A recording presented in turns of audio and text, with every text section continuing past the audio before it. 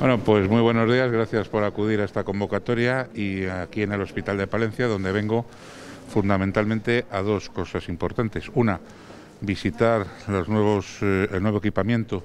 radiológico, tanto de la resonancia como del escáner, que supone una ventaja importante para, para los médicos y para los pacientes del área de salud de Palencia. Y en segundo lugar, vengo a ver de primera mano pues un, cómo está la situación de ciertas infraestructuras dentro de este hospital, como son el tema de, la unidad de radioterapia, de la construcción del búnker de radioterapia, el tema de cómo exactamente en qué fase y cómo estamos del tema de, del bloque quirúrgico, del bloque técnico del hospital, eh, de la reforma mm, del servicio de urgencias